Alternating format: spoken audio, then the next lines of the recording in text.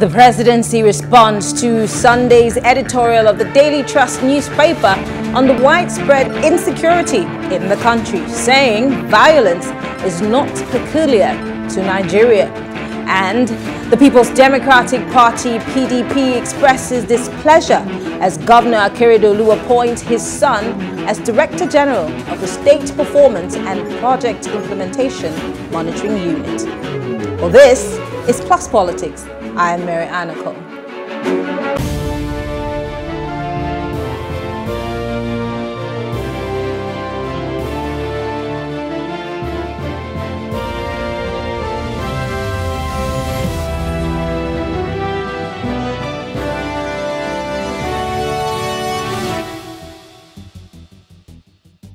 In a strong editorial two days ago, Daily Trust newspaper lamented the insecurity in the country. It highlighted the recent 23 travelers heading to Kaduna who were burned alive in a commercial bus at Sabon Birni, Sokoto State, and other incidents in the north. It accused the president of his and his team of an unwillingness and disinterest to show some concern about these tragic events. And the former president, Olusegun Obasanjo, in, is in the news once again, ladies and gentlemen. And this time he has said that he's expecting Mr. President to do anything more um, than what he has done is akin to beating a dead horse. Obasanjo said that military action alone would not effectively end the insurgency in the country. He said the stick and carrot approach should be used to tackle security challenges. Joining us to discuss this is Opunabo Inko Tariah, former special advisor on media and publicity to the Rivers State governor, and of course, Alesta Wilcox, who, who is a political analyst, and Francis Chilaka, who's also a political analyst. Thank you very much, gentlemen, for joining us uh, on the show. Thank you, and good evening, Miriam. All right. Uh, I'm going to start with you, uh, Opunabo. Let's look at the editorial by um, the Daily Trust newspaper. Uh, the first shocker, of course, is that the Daily Trust had to write this. This is uh, a newspaper that many people would say that does not necessarily go into things such as this. Um, but let's look at the veracity of the claims that are in that particular uh, publication um, against Mr. President and what they thought. In fact, the title of that publication was that, um, I'm going to put it differently, that there is no value to the average life of a Nigerian. Um, do you think that the Daily Trust newspaper went a bit too um, overboard with this publication?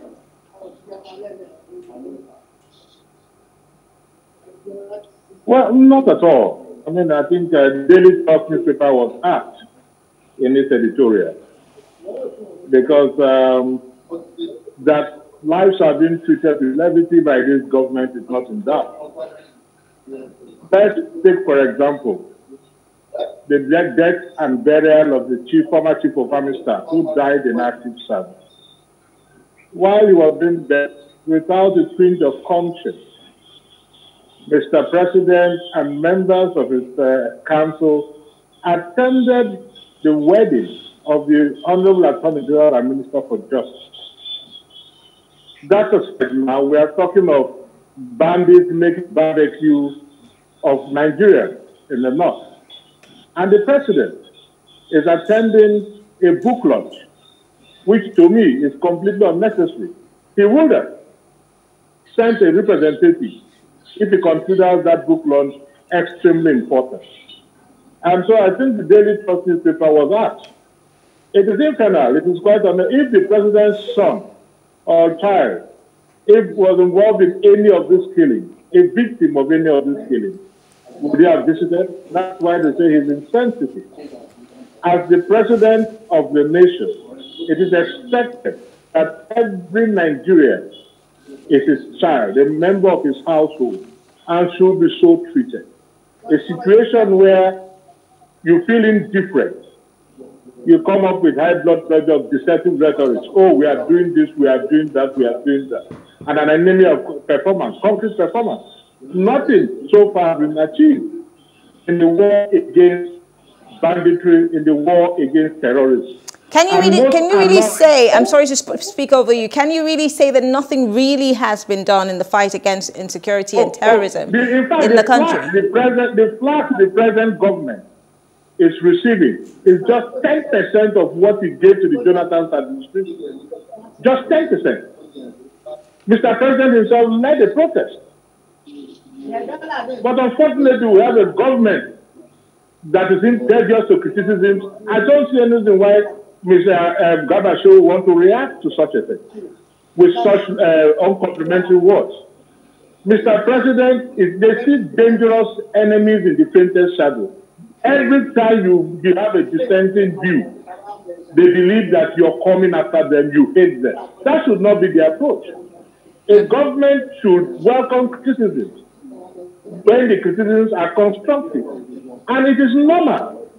Because if Mr. President had visited somebody in the hospital or gone to Lagos for something crucial that is of national interest, yes, one can understand.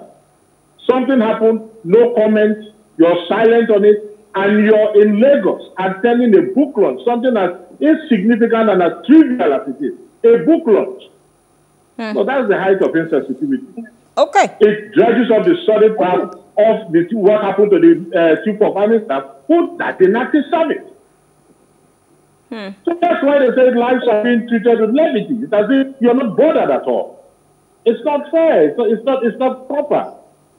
And we should say the truth to power. It's highly condemnable. Highly condemnable. You would have sent even the vice president, you would have sent a minister to represent him. Mm. What's so special about that book club? Mm. What's so special about attending the, the, the uh, wedding of, of your minister when your COS is, just, is about to be buried? Okay. Let me. That's, that's, that's, that's, that's. That's the height of insensitivity.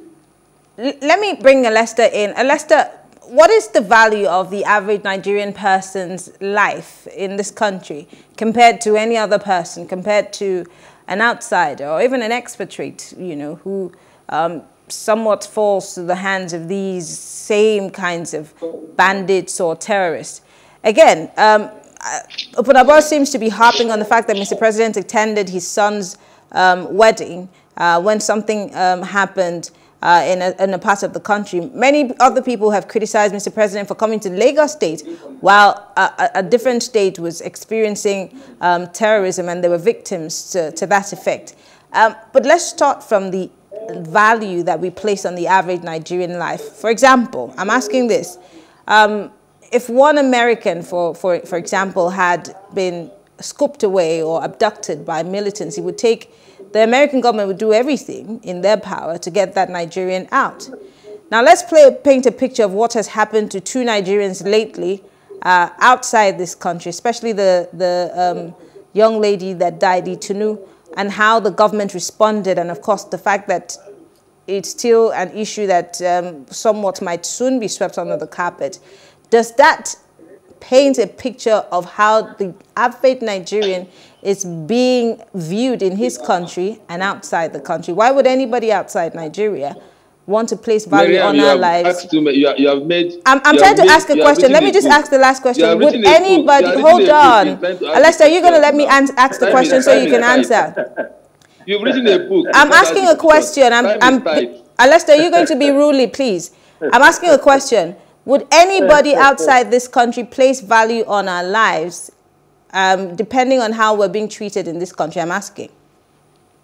I don't, I don't understand. What is the value the, of the, the average the Nigerian book, life? I don't understand the book you've written with respect to your question. I, I believe that uh, nobody will, yes, we all complain about uh, how we are treated in this country uh, in terms of talking about value. I would say that uh, in time, from time immemorial, uh, Nigerians have not had a fair deal um, I've not had a fair deal. Uh, and I'm surprised my brother Kotare is talking about uh, the criticism of Jonathan being the basis upon which today anybody that wants to talk about Buhari say, oh, he criticized Jonathan or he criticized PDP. Well, I don't think criticism is a bad thing. And uh, like your question directly, without going to other things, uh, we've not had a good deal in Nigeria with respect to the lives of every Nigerian. We've not had a situation whereby a Nigerian is arrested abroad and the government sent troops to go and rescue. We've not had that. We've not had that history right from time memorial. It didn't start today. We've not had that history Uh, we cannot even afford such assets. Uh, you're talking about Americans sending uh, troops to go and rescue their citizens from uh, areas. Nigeria don't have that kind of capability. We don't have the capability. We don't have that asset that America can deploy. We don't have it. So it's, it's not to say uh, we should not have tried. Yeah, we should have tried. But unfortunately, we are not there. And of course, every day, the issues of uh, porn, the issues of uh, population explosion, the issues of various kinds of crime begin to make it difficult.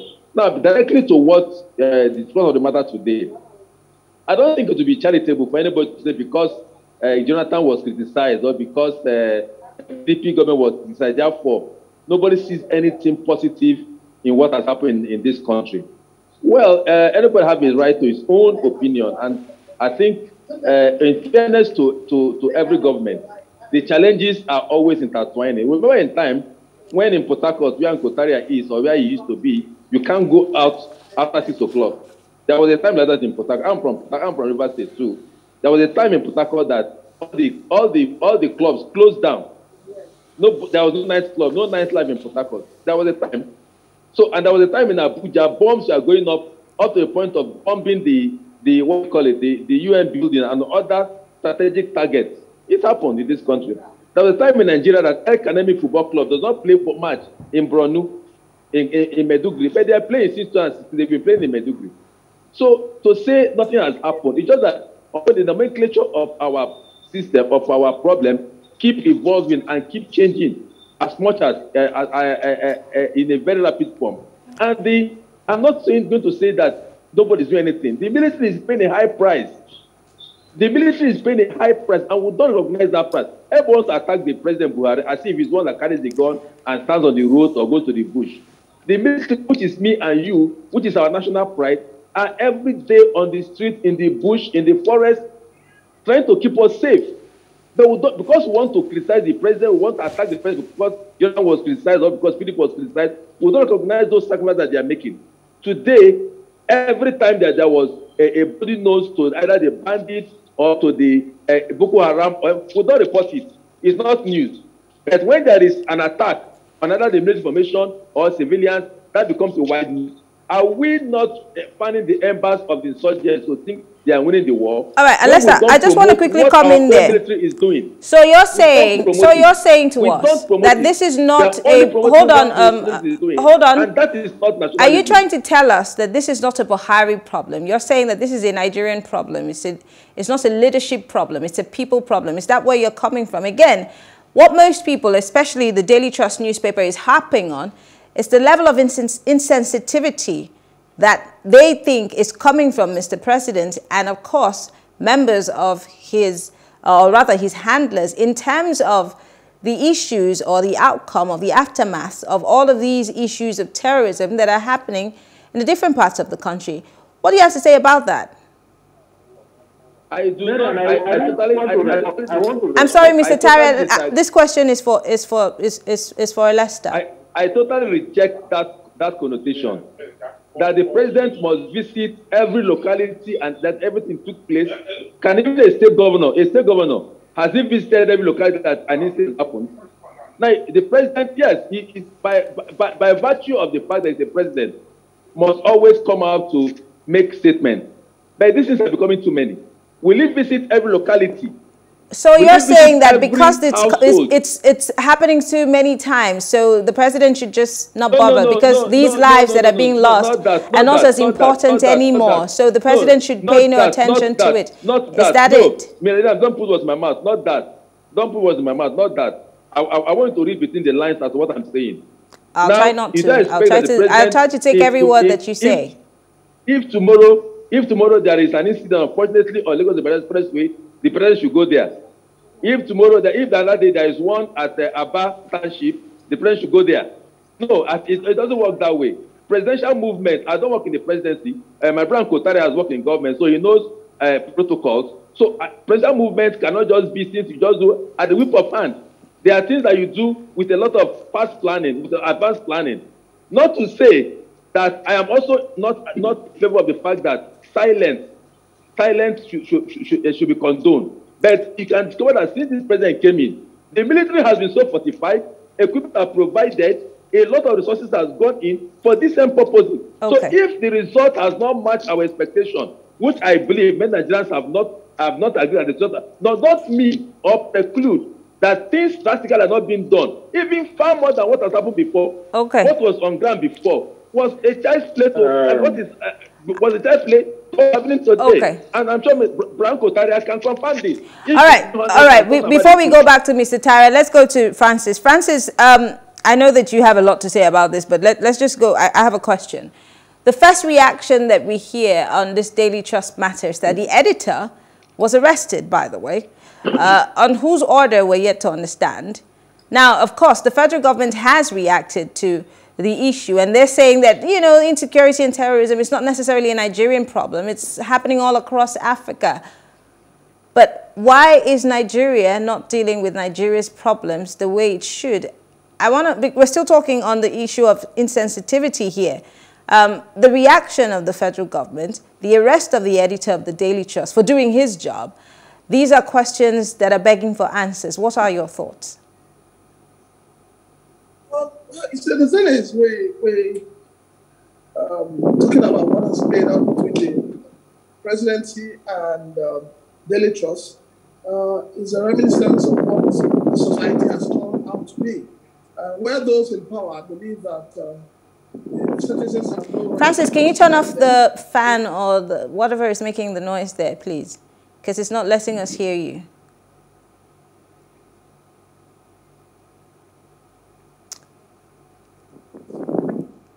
Is it done? Okay, so let's quickly go back. Uh, uh um, okay, Francis, I think you're back. Go ahead. Like I was saying, I said the thing is, we, we, we seem to have a leadership pattern, not only with this presidency, but a leadership pattern in Nigeria where uh, those in power believe that the people have no right to question their actions. And this boils down to lack of accountability, corruption, and bad governance. You see, today in Nigeria, we have two, two, two, two, two, two, two heads we're fighting with. On one hand, we have Mr. President. On the other hand, we have the presidency. And I will say this, you know, I have taken time to read the editorial and I've taken time to read the response of the government. And I'll say that this government has, you know, found joy in attacking anyone that comes out to criticize the way she has handled the issue of insecurity in the land. If you're, if you're on, on social media, you'll observe that right now, there's there's something trending on social media called uh, they say hashtag secure north. The youth are coming out. They are complaining. They are agitating. They are saying that if the president is from the north, the attorney general is from the north, the chief of army staff is from the north, the um, chief of naval service from the north, the DSS is from the north, and all these people are from the north, and yet the north is not secured. They have come out bluntly to say, Mr. President, if you cannot secure our lives and properties, resign. Why has they not, why have they not been arrested? Why must it be because editorial was written, which is not far-fetched from what these youths are saying? The insecurity in the land is worrisome. The Nigerian life has no value as far as those in government are concerned. It's not only in the north, it's all cuts across the entire country. So anybody who sits down to tell me, oh, we cannot compare this, we cannot compare this government with Jonathan, we cannot look at it that bonds were going up. I think I think it's just it's just being insensitive to the to the plight of Nigerians.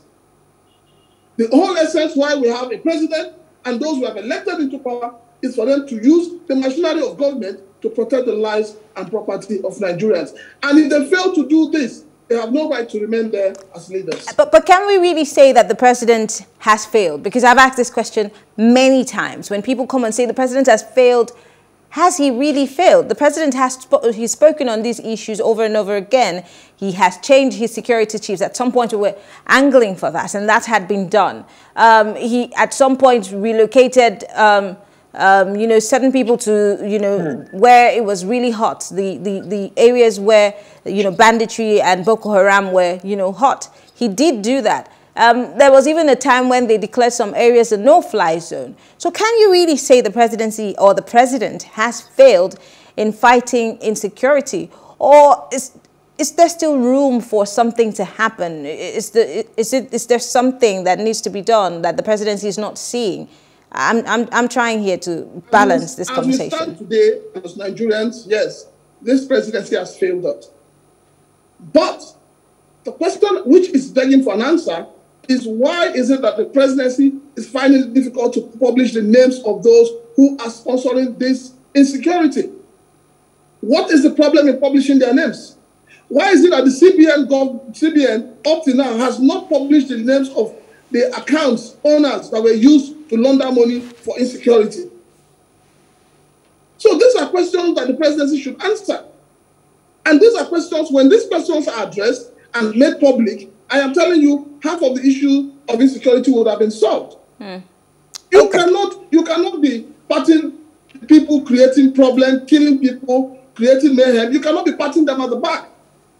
Each time we hear that, oh, they, that you know, they, they, they are repentant uh, um, Boko Haram, they are repentant um, um, uh, mm. headsmen. They are, what kind of repentance are we talking about? When you admit somebody who has done something wrong and has repented, what happens to the person that has been affected? What happens to the family of the people they have killed?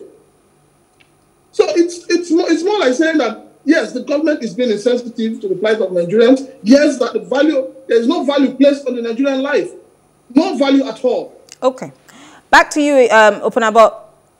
A, a, a Hausa group, just like um, uh, Francis Chilaka has said, has called for the resignation of Mr. President. They're saying that the president keeps on sparing Fulani bandits. Uh, and then, of course, going after Kanu, Nnamdi Kanu, and Sunday Igboho. Again, um, a, another group of people, um, the Human Rights um, Writers Association of Nigeria, had also said that Mr. President should either resign or be impeached by the National Assembly, being that he lacked the capacity to protect Nigerians. Is the president not able to protect us? Is it the president's problem that we're not as safe as we should be? What about the governors in the different states? Well, uh, first, before I go into that, let me quickly summarize the issue of Nnamdi Kanu and uh, the bandits. Of course, there's a clear case of um, discrimination. Can you hear me? I can hear you. It's a clear case of discrimination. Yes. Manacles segregation and change discrimination. That's what we have there. And um, in response to what my brother Wilcox said, first, I said that this present administration has not received the flat 10% of what it gave to Jonathan's administration. I did not compare the Jonathan's administration, the performance of Jonathan's administration with this. The point I am making is that Jonathan was tolerant, but this is a government that sees dangerous enemies in the faintest shadows and the cyber sinister plot behind every dissenting word. Or how do you justify the arrest and detention of the editor? It is absolutely ridiculous and draconian. Why would you, why would you want to arrest him? You did worse under Jonathan. That is the point I'm making in terms of criticism. You did worse. And you were tolerated. You were good. So when people criticize you, you also accept it in good faith. That is why you're there. And secondly, Mr. President, the board stops at Mr. President's table. For six years, they called for the change of the services. He never did. And Mr. President is in fact complicit. If anything happens, he is as guilty as those perpetrating the crime because the boss stops at his table. If he's not competent to overwhelm the situation, contain the then let him resign. Honorable. Now, I'll tell you one thing again. The service, those who succeeded the service chiefs, accused their predecessors of corruption. They said they did not purchase the arms and ammunition that they were at the money they are, uh, the money allocated for. I'm talking of the present chief of, chief of defense staff saying that the NSA confirmed it rather than rewarded with ambassadorial appointment. That is the, those are the points. So hmm. why would you criticize such a government and say the government treats life with levity? And why would you blame Mr. President? Can I remove the service chief? Can a governor remove the service chief? Who removes the service chief? The appointments are who? The appointed Mr. President. The mm. box of if today uh, uh, uh, Plus TV goes down, it is the ND that will be accused. Okay. I'm not even you, Marianne, not at all. Okay. So let us get that straight. You cannot absolve Mr. President from that.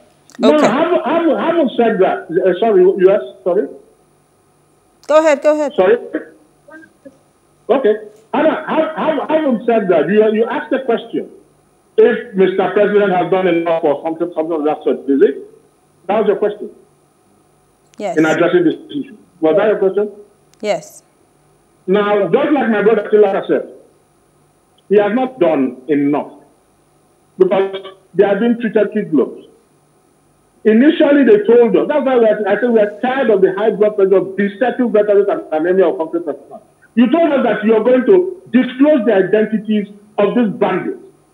The next thing we heard, you're granting amnesty. You said they are now penitent. They've absorbed their sins and penitently approached the government. Therefore, you're going to grant amnesty. What of the victims? Then this amnesty you're talking about, where even where even to the house? What are the penalties for the crimes committed? What are the deterrents to others? And the Kaduna State Governor once said he will never grant amnesty or negotiate with these characters again because he was granted amnesty, gave them money, and they went back to the uh, to, the trenches. These are recidivists. Okay. This issue of amnesty, this issue of uh, purported uh, penitence is because they, is, is what is, that's what we call in criminology techniques of neutralization. Okay. Calls to war. They want that pressure reduced. So they are coming out, and again, they are coming out to re-strategize. The pressure is on them. The president military, that is uh, the president under the president CBS, is trying. I will not, I will not say he's not trying. But then, do they even have what it takes to contain these characters? No. All right. going to provide this, Mr. But because we- we do not have too much time. Mr. President. So you cannot just critique him for whatever. And you should be able to absorb criticism. We do not- we do not have too much time, so I wanna quickly go to- Thank you, Mr. Tare. Because we, we, we really have very little time, I want to quickly go to um, Alesta and Francis before we wrap things up. Alesta, what needs to be done? Um, this is a question I'm sure you get asked all the time. What do you think needs to be done um, to first change the body language, because that's a word that we throw around every time, uh, Mr. President, which is being read by a lot of people as insensitive. Um, like I said, the army, of course, has been asked to do a job which they are doing. There's a lot that needs to be done, but what is that thing that Mr. President needs to do to regain the confidence of the average Nigerian um, in terms of the I- I- keeping us safe as a country? I appreciate the outburst of my brother, and I can see the pattern his voice. I, I could just, but just smile and laugh. Um, it, it's good, my brother. Keep it up. But you see, the fact remains, and I must keep saying this: the president we know from the time he took office is a man of few words. He doesn't talk. You know him. He's a man of few words, but his actions are always shown. This is a man that have reinvented the military, a military that was so much that had so much low morale, lack of equipment. They were running from the enemy, and the president came in and reinvigorated the, the military. Look at the air force, equipped them. Modern gadgets have been have been brought in, new aircraft, and the and the heat. All the in fact, uh, Shekau is gone. Most of the commanders are gone. They say he's doing nothing. Go to the Um, go to the northwest. Yes, this is. Alesta, this I didn't this ask is- for a scorecard from Mr. President. No, no, I'm no, no, no. asking, No, what need does we the to- president we need must to do put now issues to straight. regain the confidence must- of no, the we average put issues straight, Nigerian Miriam. that he's Miriam, indeed you fighting here. for us to be safe and secure? We're not politicizing this issue. I don't need to hear the No, no, politicization of this issue. What- what's the What point? I- I needs to be work for the done? Quickly. I don't work in government. Open up, please let him speak. Thank you very much. the president. Please, please, I don't even know the president. Allow I Wilcox to talk, talk. I talk Mr. Tariah, please let him speak. When you were speaking, you were we allowed keep to speak. encouraging the army, our military, which is the pride of our nation. We must keep encouraging them. We must keep supporting them. That is all we need to do. The president, the best he can do is to give the directive, is to provide the equipment, which is doing. Yes, there is a big room. The biggest room in the world is the room of improvement. There's a room to improve more, to bring our military to the 21st century military, to get more equipment with uh, uh, in line with the funds availability. That is what he will do, and I guess he's doing that. Okay. So the military must be encouraged through the press. The activities that their gains must be must be broadcast, just like their losses have been broadcast. Their gains must be broadcast because that is the only pride we have, the military. Okay. We don't have another pride in this country. It's the Okay. military. And so the military that is taking the heat, having suffering casualties, paying the supreme price to keep us safe. And every day we come, we lambast because we want to get to the president. That for me is Okay. uncharitable, it's unpatriotic, and the least to say, and, an, and affront to the Nigerian military and encourage to the enemy. Okay, enemy quickly, must we don't have time, Alesta. Let's quickly go Thank to you. Francis. Francis, um, Alesta seems to be saying that the president, the best the president can do is encourage the military. I, I do not know if that's all. Is the president's best, according to him, good enough to secure us? As don't forget, we're in the U-type season. A lot of people are scared to travel home because of one issue or the other. And let's not even just um, limited to the issue of banditry. There's kidnapping every other day, and uh, it seems to be a potpourri of issues. Every single place is experiencing one form of insecurity or the other, and some form of mayhem. Um, is the president's best good enough, or is there anything else that the president needs to do? Again, the same question to boost the confidence of the average Nigerian, um, because we see a lot of people running away from the country uh, because they feel that they would rather be safe uh, in another country other than the country that should be theirs. Well, um, in all sincerity, and I've said it several before, uh, the president has not done enough um, in securing the lives of the ordinary Nigerians. It is one thing to buy all the ammunitions. How fortified and how qualified are those? And how have you taken care of those who would use these ammunitions? So if the other day, if you check the other day, you saw the IG complain about where the policemen live and all of that. These are same men who are meant to take care of you and I. The same policemen who are meant to take care of you and I have been turned into bodyguards by politicians. So this presidency needs to stand its ground, withdraw everybody attached to an individual. Every policeman that is attached to an individual should be withdrawn. The soldiers that are walking around the street controlling traffic should be withdrawn. Put people strategically where they ought to be. You have about 80 checkpoints from Shagamu down to the east. What are these checkpoints for? Okay. Are we getting to the southeast? So let us let us let us be very proactive. Move people, move the forces to where you need them most at every point in time. Okay. There are too many policemen, too many soldiers loitering the streets doing nothing. Anybody that is not doing what they're supposed to do, the presidency should throw that person out. The presidency should avoid nepotism. Let us become patriotic. Patriotism is what is lacking in our country today. There is no patriotism. Materialism has become the bane of our life system. We need to throw that away. We need to wake up. We need to begin to think as if there is no box. All right. It's not have for to us go. to sit down and begin to, you know, say the presidency has done this, the president has not done that. The people that the ordinary Nigerians cannot defend themselves. They do not have the act. They do not have anything to defend themselves. Okay. So it is the job of the military. That is what they are paid for. They are being paid with the taxes of the Nigerian people. So it must be utilized well and ensure that they are kept where they are needed most. We have to go. Thank you very much, Francis Chilaka, Alesta Wilcox, our uh, political analyst, and of course, uh, Opunabo Inko Tariah is a former uh, special advisor on media and publicity to the governor of River State. Thank you very much, gentlemen, for being part of the conversation. We can only hope for the Thank you. best. Thank you, Mary. Thanks for having me. Thank And, All right. Brian Kotari, Well, thank you all for staying with us. When we return, we'll be discussing the response of the People's Democratic Party, PDP, to the appointment of the son of the governor, Akere Akeredolu, as the Director General of the State Performance and Project Implementation Monitoring Unit. Stay with us.